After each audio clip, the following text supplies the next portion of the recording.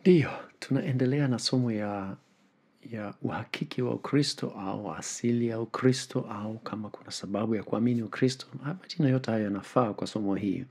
Na kwa sababu tunajaribu kuchunguza madai ya ukristo juu ya asili yake na juu ya ukweli wake na kuona kwamba kweli inaleta maana e, kuamini yale ambayo yanaongelewa. Na tunaweza kufanya hivyo kwa njia mbalimbali. Eh, ninafahamu kwamba sehemu moja ni imani na hiyo ni vigumu kidogo kuichunguza. Yaani jinsi mtu anavyohisi na kuamini. Lakini tunaweza kuchunguza mambo mbalimbali. mbali. Na moja ambayo tunaweza kuiangalia ni arkeolojia. Arkeolojia ina inaonyesha kama kwa mfano sehemu ambazo zinatajwa au watu wanao wanatajwa eh, yanaweza yakathibitika kwa maandiko mengine au kwa majengo au kwa yani ndani ya ardhi au ndani ya rekodi za watu wengine pia hiyo ni, ni, ni, ni kama sehemu ya arkeolojia. e, Na hiyo ndio tutakwenda kuiangalia katika vipindi vichache sasa hivi. Kuchunguza arkeolojia ya wakati wa Yesu au karne ya kwanza inaweza kutupa dokezo inayothibitisha kama maelezo ya waandishi yanaendana na hali halisi ya wakati ule.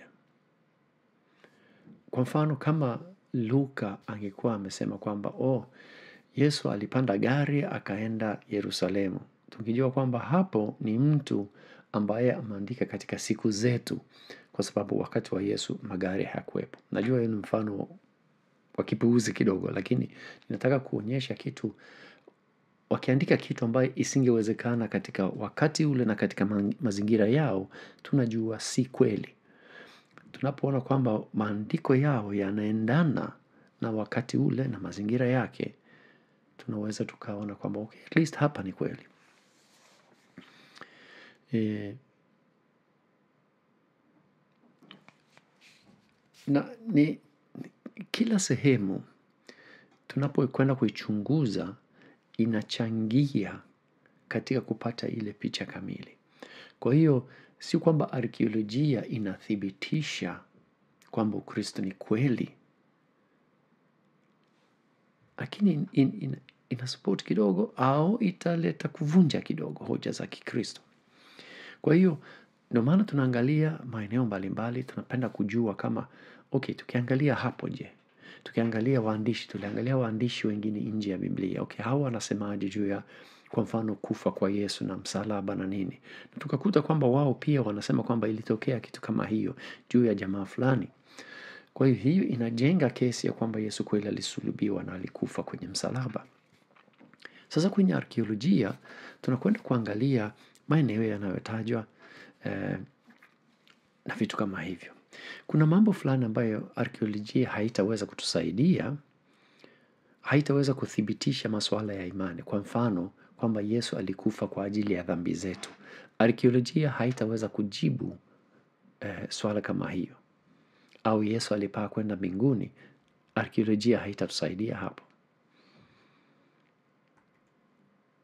Lakini arkeolojia inaweza kuonyesha kama maelezo ya kijiografia yako sawa, kama mji fulani ulikuwepo mahali fulani, hata kwa sehemu inaweza kuonyesha jinsi watu walivyokuwa wakiishi kutokana na vifaa eh, na mengine yanayopatikana kwenye site ya machimbo.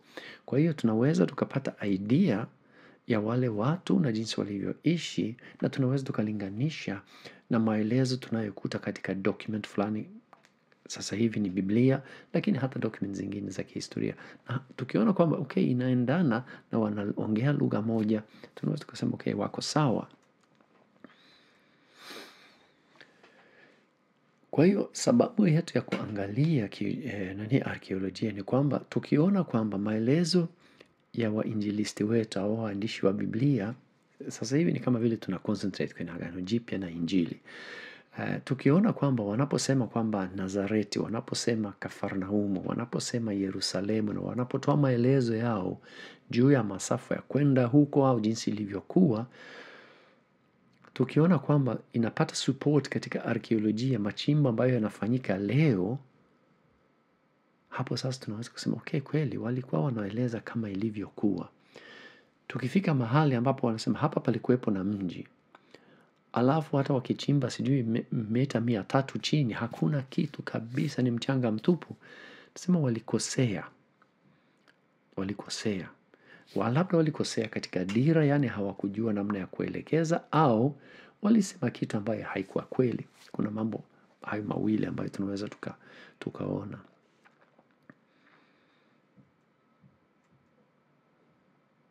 Na tukiona kwamba wako sawa katika maelezo yao ya kijiografia na kijamii, tunaweza tukaamini kwamba hata maelezo yao katika maeneo mengine yako sawa. Tuseme inajenga, haithibitishi lakini inajenga eh, eh, ile imani ya kwamba walikuwa wanaeleza maelezo ya kweli. Kwa hiyo eh, uchunguzi huu hauthibitishi eh, inaweza ikathibitisha baadhi ya mambo lakini sio mambo ya kiimani. e, kwa hiyo na hat, pia haitathibitisha kwamba unaweza ukawaamini hawa waandishi kwa, kwa asilimia mia. Hiyo haitaweza kuthibitisha kwa sababu mtu anaweza akasema e, ukweli hapa huku akadanganya, si ndio? Lakini tuseme picha ya mtu jinsi alivyo na jinsi anavyorekodi e, kama yuko makini au kama hayuko makini, hiyo inaweza ikaonekana tunapochunguza e, arkeolojia. Okay, nichukue mfano. ilishachukua mfano moja kama Yesu alipanda gari. Tuchukue mfano mwingine. Tuseme mtu anakuambia kwamba alisafiri kutoka Dar es Salaam, alienda hadi Arusha na anakuambia alikaa kwenye hoteli moja Arusha, tuseme Mount Meru Hotel. Kati ya Dar na Arusha alisimama kidogo, alisimama Morogoro na alikula lunch kwenye Hakika Restaurant. Okay, anakueleza hivyo. Ni rahisi sana kuchunguza kama maelezo yako yako sawa, si ndio? Ni kweli hutajua kwa uhakika kwamba alifika sehemu hizo, lakini utaweza kuangalia kwamba vipi huko huko Arusha kuna hoteli ambayo inaitwa Mount Meru Hotel. Kama ipo, utajua at least amekutajia sehemu ambayo ipo kweli. Akikwambia hoteli ambayo unapo, unapoanza kutafuta haipo hata Arusha, utasema jamaa nadhani hakufika huko. Pia Morogoro unaweza ukaangalia kama kuna, kuna restaurant, yani kuna restaurant moja ambayo inaitwa Hakika Restaurant. Kama haipo kabisa, hata unapoulizia ulizia watu wanasema hiyo haijakuwepo wala haipo. Hapa pia inaleta mashaka. Lakini ukiona kwamba hayo yote yanaendana yana na ukweli, e, utajua kwa, kwa sehemu fulani utaweza kuamini kwamba stori yake inaendana na ukweli, sindio? Kwa hiyo tunapoangalia arkeolojia ndio hivyo inavyotusaidia. Ni kwamba vile tunaona kwamba maelezo yao inaleta maana kuamini kwamba walikuwa makini katika rekodi zao. Okay. Tutachukua mfano wa, wa Yosefu. Yeye ni mwanahistoria aliyoishi kuanzia kwenye mwaka 37 hivi mpaka mwaka 100, yaani ndani ya karne hiyo ya kwanza. E, yeye anaandika juu ya bandari moja Kaisaria na anasema ilikuwa ni bandari kubwa mfano wa bandari ambayo unaikuta katika miji mingine Piraeus au Athens. Na ukiangalia leo ukienda ukienda nani hii e, Kaisaria leo utasema kwamba hiyo si dhani kwa sababu bandari ya pale ni ndogo, ni ndogo sana na ni kama vile im, imejaa e, sehemu ile yote ambayo ingekuwa ni bandari ni kama imejaa mawe na, na, na mchanga. Lakini walipofanya uchunguzi wa kiarkeolojia ni kwamba walifanya machimbo chini ya maji.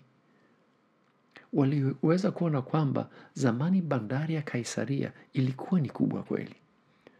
Kwa hiyo hawa wataalam wanaofanya kazi za arkeolojia, mimi, mimi si mwana arkeolojia, lakini najua wanachimba na wanakuta majumba, wanakuta nini na nini na, na wanaweza wakatafsiri hiyo na kuelewa maana yake. Ilionyesha kwamba rekodi ya Yusufu ilikuwa sahihi. Wakati yeye anaporekodi inaonekana ile bandari ilikuwa kubwa kweli. Katika miaka hizo elfu, karibu elfu mbili, hiyo bandari ime, imeharibika na ime, imezibwa imejaa na vitu mbalimbali. Kwa hiyo sasa ni bandari ndogo tu, lakini kwa wakati wake ilikuwa ni bandari kubwa kweli. Tukienda katika Luka wa Biblia, katika Luka tatu na moja anasema kwamba Lusania alikuwa mtawala wa Bilene kwenye mwaka wa ishirini na saba. Kwa muda mrefu wataalamu walihoji maelezo ya Luka wakidai kwamba Lusiana alikuwa akitawala Chalkis kama miaka hamsini kabla ya muda e, Luka anayoitaja. Yaani kwa lugha ambayo inaeleweka. Kuna mtawala mmoja ambaye alikuwa anatawala eneo fulani ambayo Luka anasema ilikuwa ni mwaka wa 27. Lakini kuna mtu wa jina hiyo ambaye alikuwa anatawala katika sehemu nyingine miaka hamsini kabla ya muda Luka anayohitaja. Kwa hiyo wanasema hapa rekodi ya Luka haiendani. Lakini walipofanya machimbo ya kiarkeolojia wakakuta kwamba kuna rejea moja inayothibitisha maneno ya Luka ya kwamba Lusiana alikuwa mtawala wa Abilia ambaye ni karibu na Damesko. Unaona, kwa hiyo machimbo yaliweza kuthibitisha kwamba maneno ya, ya Luka yalikuwa sahihi. Unaona, na inaonekana walikuwepo watu wawili walioitwa eh, walikuwa na jina moja. Hiyo sio ajabu. Kuna Yohana wengi, kuna Muhamadi wengi, kwa hiyo sio ajabu kuwa na watu wawili katika historia ambayo wana jina moja. Eh, hiyo inawezekana au inawezekana pia kwamba uta alitawala sehemu fulani wakati fulani na alitawala sehemu nyingine wakati mwingine. Hiyo pia inawezekana. Na kuna mifano mingine pia ambayo uchunguzi wa arkeolojia inaweza kuthibitisha usahihi wa Luka katika maelezo yake. Kuna mwanaarkeolojia moja amechunguza ya maandiko ya Luka, amekagua mahali pa jiografia anayoyataja na anataja sehemu nyingi. E, maeneo ambayo ni nchi mbalimbali au tuseme wilaya mbalimbali au maeneo makubwa mbalimbali, anataja sehemu thelathini na mbili, anataja miji hamsini na nne, anataja visiwa tisa. Zote ziko sawa, hajakosea hata sehemu moja. Katika jiografia Luka anapatia katika maelezo yake. Na tunafahamu Luka anaandika injili ya Luka anaandika matendo ya mitume kwa hiyo alizunguka sana hata katika alipokuwa akisafiri pamoja na, na Paulo yeye anazunguka sana kwa hiyo anatoa zile record na ziko sahihi. Kwa hiyo tunaweza kusema je, kama Luka alikuwa makini mno wakati anataja e, watu na mahali e, visiwa, miji, nchi Je, si tunaweza kutegemea kwamba anakuwa makini pia anapotaja mambo ya muhimu zaidi yanayohusu imani ambayo at least kwake ni muhimu zaidi. At least tunaweza tukasema kwamba okay, alikuwa ni mtu mwanahistoria ambaye alitoa rekodi zake kwa makini. Kwa hiyo tunaweza tukajifunza. Kwa hiyo anapoelezea kwamba Yesu alifufuka, tunaweza tukaiamini hiyo pia. E, labda kwa sababu kwa vile alikuwa tunaona kwamba alionyesha ukweli katika mambo hayo, inawezekana anaonyesha ukweli hapa pia. sema inajenga ile imani, haithibitishi lakini inajenga hiyo imani. Tunapoendelea, tutaendelea kuangalia maandiko, tutaangalia injili ya Yohana na injili ya Marko pia. Kwa hiyo, eh, tunaendelea kuangalia arkeolojia katika vipindi vichache na karibu kunifuata katika safari hiyo na Mungu akubariki sana.